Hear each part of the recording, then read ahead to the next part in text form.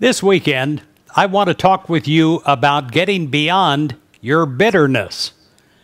Forgiveness is actually the best revenge because it not only sets us free from the person that we forgive, but it frees us to move into all that God has in store for us. And that's a lot better than standing behind the barrier of bitterness. Are you embittered about the past? Turn your heart toward God in prayer. Do you sincerely want to forgive someone? Well, ask God to help you. You'll discover that the Creator of the universe can heal every heart, including yours.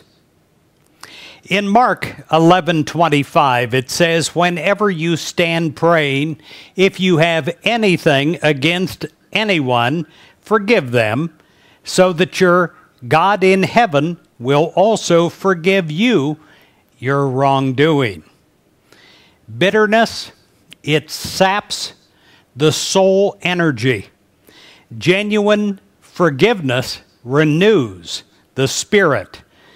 If you're feeling tired, if you're feeling discouraged, or even worse, it could be that you need to ask God to help you forgive others, just as God has already forgiven you for everything that you've ever done wrong. God wants God's children to lead a joyous life filled with abundance and filled with peace.